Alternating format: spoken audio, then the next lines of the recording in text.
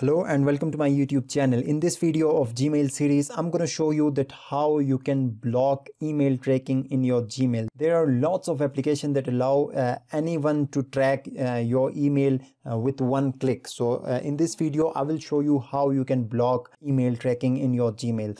But before starting the video, if you are new to my channel, then don't forget to click on the red subscribe button and the bell icon as well. So now let's start our video.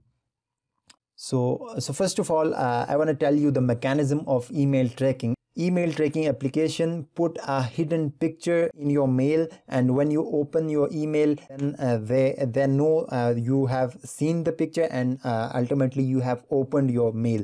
So that's how uh, they know when your email has been uh, read. So if you want to stop email tracking from your Gmail, so first of all, you'll have to open Gmail and from Gmail go to settings and from settings in general here you can see that images. It's it's by default always display external images. So uh, you'll have to select this one ask before displaying external images. So this option also disables dynamic email which means uh, there will be no hidden image in your mail and uh, nobody can track their email using some email tracking applications. So uh, it's it's it's just simple. Uh, you'll have to select this option ask before displaying external images. Uh, that's how you can block email tracking applications from tracking uh, your emails in gmail. So that's all for this tutorial. If you haven't subscribed to my channel yet then do it now so you won't miss my videos in future. Thank you for watching. Subscribe for more